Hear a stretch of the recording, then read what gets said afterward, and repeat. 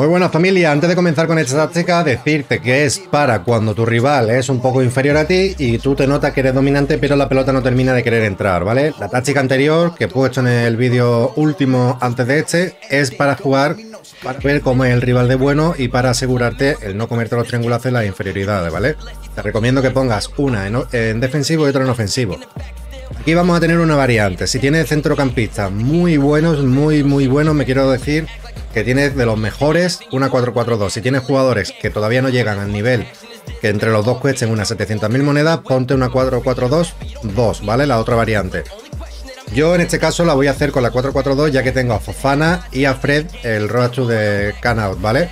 Que son jugadores muy buenos y además son intransferibles y los tengo que usar, pero vaya, son una maravilla, todos los problemas sean eso. En el caso de que no sea así, poner la 4-4-2 y bueno, aquí vamos a necesitar Vamos a ponerlo en táctica primero.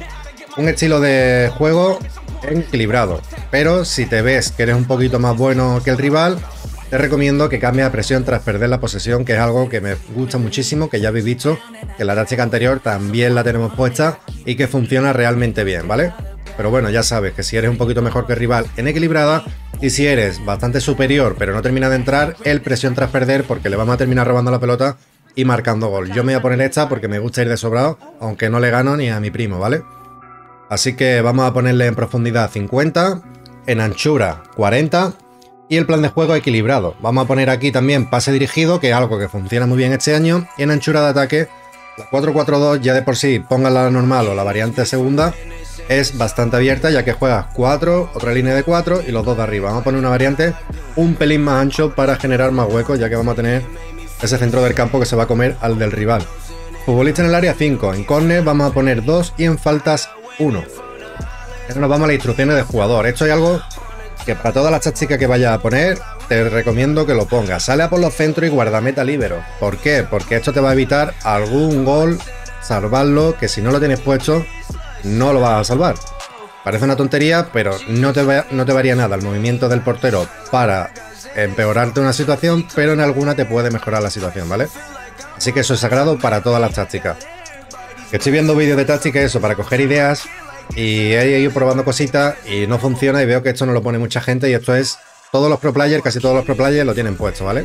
Así que, eh, y además lo he probado y compitiendo y la verdad que es una diferencia abismal. En el centro de la defensa no vamos a tocar nada.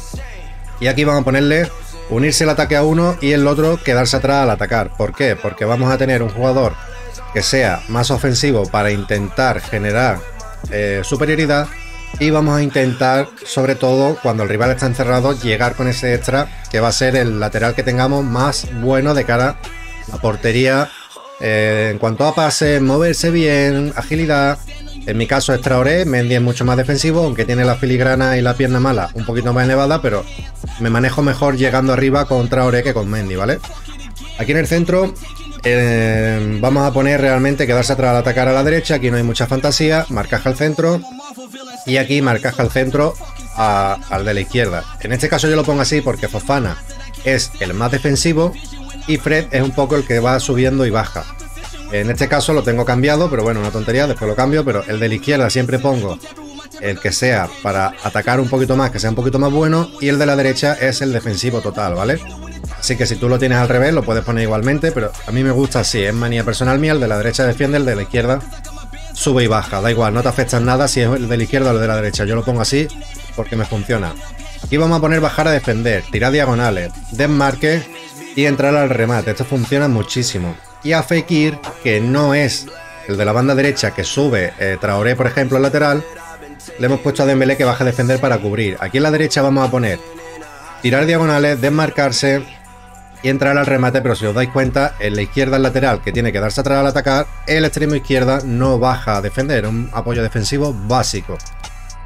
Eso eh, es por lo mismo, ¿vale? Si tú, por ejemplo, el que te sube a la izquierda es el que sube a atacar, el extremo derecho no le ponga a bajar a defender pero queda a tu gusto dependiendo de los jugadores que tú tengas. Aquí vamos a poner un jugador con quedarse en el centro y desmarcarse. Yo lo pongo en la izquierda para compaginar con mi centro del campo, pero tú lo puedes poner en el de la derecha o en el de la izquierda. Eh, por ejemplo, para no hacer un lío, si tu centrocampista izquierdo es el que más ataca, a tu delantero izquierdo el que se queda con desmarcarse y quedarse en el centro. Si tu centrocampista derecho es el que ataca, pues tu, tu delantero derecho es el que queda en el centro y se desmarca, ¿vale? Para generar esa apertura y profundidad con la defensa. Y aquí vamos a ponerle nada más que abrirse a las bandas o quedarse en el centro, ya dependiendo. Si tiene un jugador como son, te recomiendo abrirse a las bandas porque va a hacer una rotura bastante buena y va a generar espacio que nadie se lo espera porque todo el mundo juega igual y funciona muy bien, si no, no te lo diría. Y aquí le podemos poner desmarcarse o referencia para que baje a recibir y genere un poquito más de juego. Yo, en este caso, por mi tipo de plantilla le pongo referencia, pero ya depende de ti, ¿vale? Si tienes un killer, un matador, ponle eh, referencia de abrirse a las bandas que funciona súper mega bien. Y no vamos a poner nada de apoyo defensivo, ni intercepciones, ni nada. Simplemente así.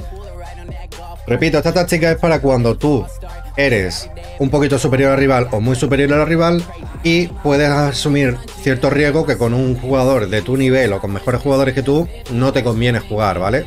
Que con eso te conviene más la táctica que te puse en el otro vídeo.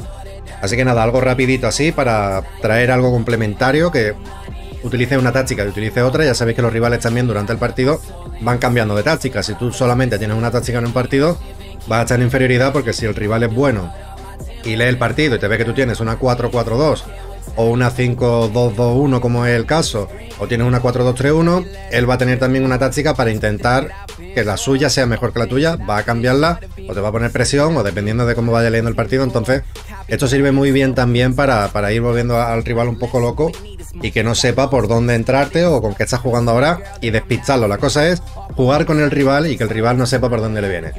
Entonces tú cambias de una táctica un poquito más neutra, hecha en el que un lateral te ataca, otro extremo no baja a defender, pones dos delanteros, el rival dice, hostia, eh, me, ha creado tres ocasiones de gol en un rato, ¿qué ha pasado aquí? Y si marcas un gol y vuelves a tu táctica un poquito más equilibrada, pues a lo mejor tienes ahí un partido que hoy día, con tanta gente de, es que estoy viendo ya equipos con Mbappé, con Eto, con Messi. Si la mayoría de equipos no tenemos esos jugadores, pues es más difícil enfrentarte a ellos si no tienes tácticamente algo superior, ¿vale?